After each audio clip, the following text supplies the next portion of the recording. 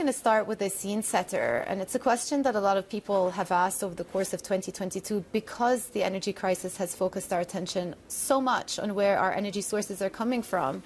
Do you think what has happened in 2022 has accelerated or pushed back, postponed Europe's drive towards renewables?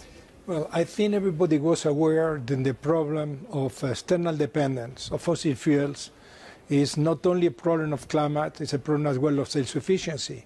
And I think that is already uh, putting in mind of everybody that we need to accelerate the construction of more renewables, the construction of uh, uh, and digitalization of the grid to already to provide services we uh, fully electri electrify instead of using already fossil fuels.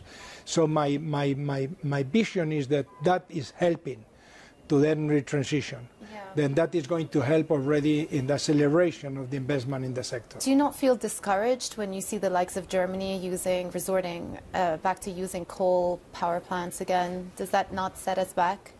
Well, it's a pity. It's a pity because uh, uh, if uh, instead to be so slow in the investment in new renewables and the investment of the electrification of the economy, we have already been uh, much faster.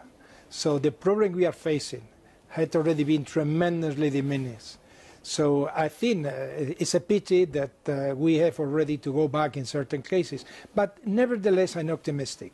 I think it's, uh, uh everybody's aware now that we need to move fast. Everybody's aware that the time, for instance, for permitting, we take sometimes five, six, seven years. Before for reconstruction, we take 12 months.